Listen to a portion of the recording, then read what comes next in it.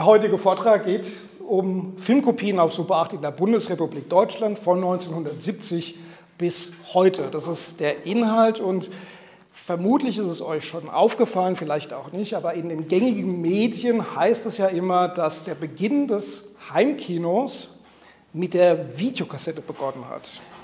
Und diese Aussage ist tatsächlich nicht so ganz richtig. Ähm, reichen die Anfänge des privaten Heimkinos mittels privater gekaufter Filmkopie bereits in die 1920er Jahre zurück, entwickelte sich der Markt für diese privaten Filmkopien als Massenmedium in der Bundesrepublik Anfang der 70er Jahre mit Super 8 als Trägermedium.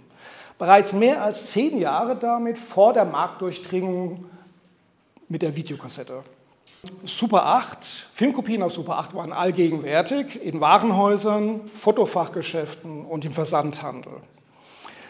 Das ist heute das Thema und inhaltlich Super 8 war also durchaus äh, wahrnehmbar im normalen, im, im, im, Umfeld, im normalen Alltagsumfeld. Wo hat man denn Super 8 Filme überall angetroffen? Also zuallererst mal, wie er schon genannt hat, in Warenhäusern, Kaufhof, Galeria gibt es ja heute auch noch. Im Grunde genommen so ein bisschen wie eine Blu-ray, ja, nur ein bisschen prominenter dargestellt, weil es natürlich auch ein äh, gehobenes Produkt war vom Preis her.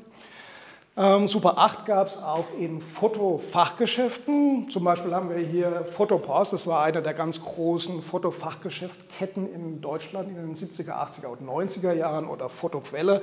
Da lag das dann auch durchaus ähm, in den äh, Schaufensterauslagen, diese Super 8 Kopien, dass man die von der Straße aus eben entsprechend gesehen hat als Anreiz. In Spielwarenläden gab es auch Super 8. Wir sehen hier äh, ein Bild des Fedes, Katalogs von 1972. Fedes ist auch so eine Spielwarenkette. Und da gab es Super 8 Projektoren speziell für Kinder, sehr minderwertig ausgeführt, aber immer noch ausreichend, um kurze Stummfilme zu Hause im Kinderzimmer an die Wand werfen zu können. Selbstverständlich gab es auch spezielle Geschäfte, die sich auf Super 8 Kopien äh, spezialisiert haben. Die waren allerdings auch eher in den Großstädten anzutreffen. Ähm, Im Versandhandel, Neckermann, Quelle, Otto war Super 8 in den Katalogen auch vertreten. Hier ein Katalogauszug von 1975 von Fotoquelle. Und hier sieht man, da wird einmal das Equipment angeboten, da kommen noch ein paar Seiten Projektoren davor und Kameras und eben dann auch die Filmkopien. Ja, Werbung, einmal Werbematerial von den Herstellern, aber eben auch Printwerbung, die geschaltet wurde. Ähm, Super 8 Hersteller waren präsent auf Fachmessen, zum Beispiel der Fotokina, und es gab Fachzeitschriften, die tatsächlich am Kiosk erwerbbar waren, die Super 8 auch tatsächlich vorne auf dem Cover ankündigten, um dann da Filmkopien zu besprechen. Wir schauen jetzt in dem Zusammenhang einen 20-sekündigen Werbespot. Was heißt es denn dann für Super 8 heute? Macht es denn eigentlich Sinn, Super 8 heute noch in irgendeiner Form zu verwenden? Ja, da schauen wir mal, wie ist denn eigentlich gerade die Filmsituation? Die kennt ihr natürlich alle. Ja? Wir haben ja tatsächlich diese absolute Entstofflichung der, des Films. Ja? Ähm, der ist auch nicht mehr unbedingt als Objekt erfahrbar, sondern nur noch über die Fernbedienung in Form von so einem äh, kleinen Poster und einer Beschreibung auswählbar. Aber wir haben eigentlich keinen direkten Bezug mehr zum Film als Objekt, sagen wir mal. Ja? Dafür ist es natürlich einfach. Ich kann den überall angucken, ich kann ihn jederzeit angucken, ich kann ihn auf verschiedenen Ausgabemedien ansehen.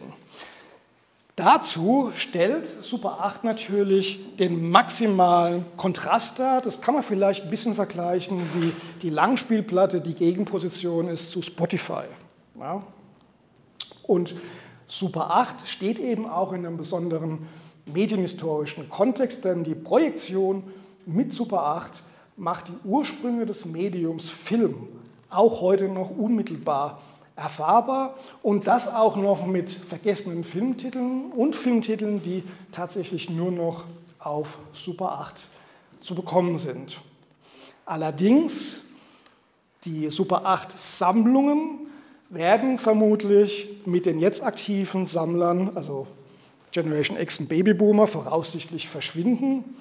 Ähm, und von daher finde ich es eben auch so ganz wichtig zu versuchen, diese Inhalte noch nachträglich greifbar zu machen, bevor alles tatsächlich weg ist. Das ist jetzt mein Schlusswort. Das endgültige Schlusswort überlasse ich allerdings Frederik Carali.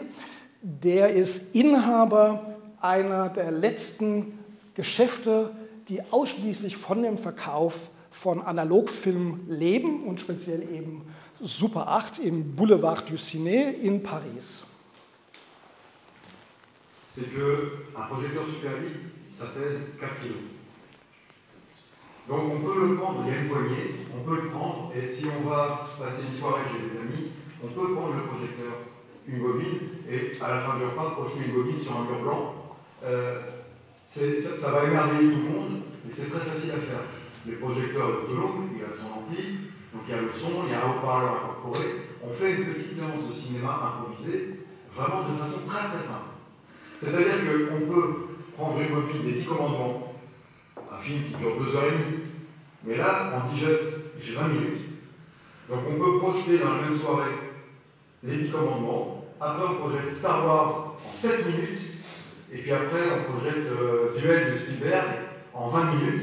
Et en moins d'une heure, on a projeté trois monuments du cinéma. Euh, et on s'est régalé comme si on les avait fait entièrement.